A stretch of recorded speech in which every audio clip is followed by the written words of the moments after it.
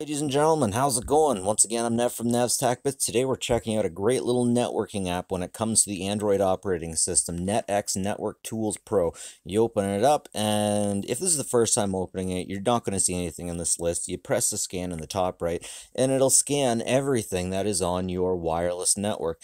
It'll give you an idea of everything that's on your wireless network, and then you get to go through, and if you know what it is, you can give it your own personalized icon on the right hand side. For some reason, the scan's going a little bit slower. There we go. Anyways, yeah, yeah. So if you click on the unit itself and then click on the item, you can add all kinds of different icons, which is really nice, really personalized for your home network. You'll know exactly what's going on here. You come over here to tools, you hit the ping, and you can actually ping it right off, right from here. Or there's even an option, you don't even have to search to ping, there's just a ping ping, and then you can ping in the IP number and it'll ping ping ping.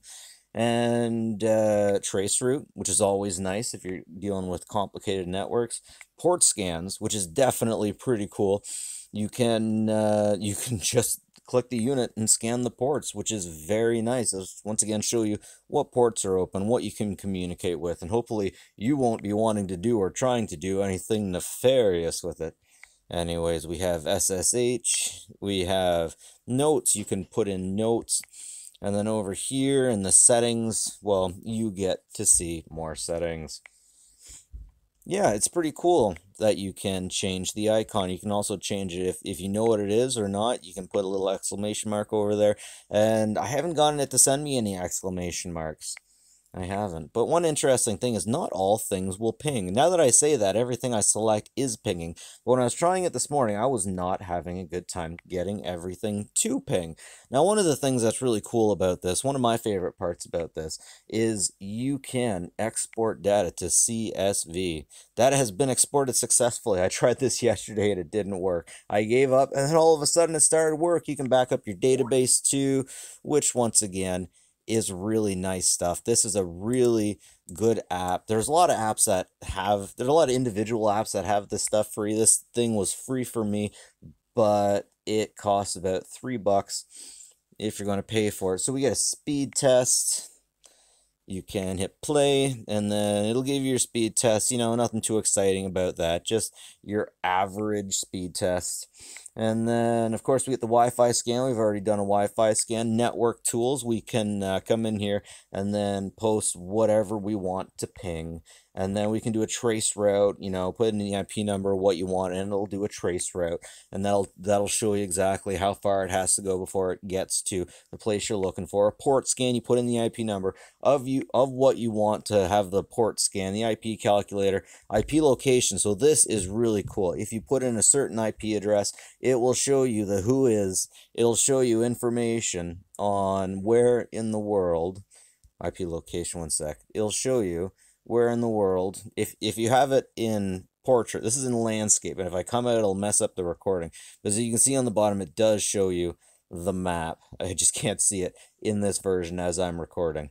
But it will show you a location. But I'm telling you, if it pops up into the middle of the map in the United States and you're searching for something in the United States, then you have gone to the wrong place. And there is, there is actually a house in that location. If you get this default middle of the country location and the cops go there all the time because apps like this they don't they don't want to wait until the official information comes out they they use apps like this they get a location and if it's default or if it's in a certain number it, it just goes to some place i believe it's in kansas and cops go there all the time. The local sheriff has actually put a posting up in that location saying this isn't these aren't the droids you're looking for.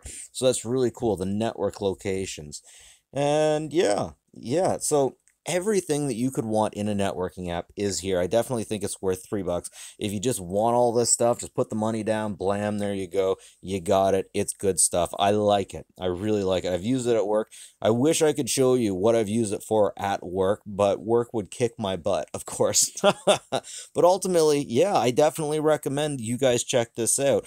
Once again, it'll uh, it'll give you an idea at the bottom left of all the all of the items exactly what it is, but they're not all correct. Most of them are. what they do is they get the MAC address and they put it up, up against a, a uh, catalog. I'm trying to find it. I, I'm not seeing it right now, but last night it was saying I had an HTC device, and I definitely do not have an HTC device. Yeah, there we go. I definitely don't have an HTC device, so I'm going to be trying to figure out exactly what that is. And maybe, you know, I'm going to put a, yeah, notification to see if it actually tells me anything about it. But I don't even think my neighbors have an HTC device. Product agent for Windows. I got to figure out exactly what that one was. Anyways, good way to monitor your network. I definitely recommend it. It is absolutely good stuff. And it was worth the free price tag I paid for it. And I think that you guys should be checking it out too. It'll even give you your external IP. So I guess that means I'm not posting this until uh, my external IP changes in two weeks.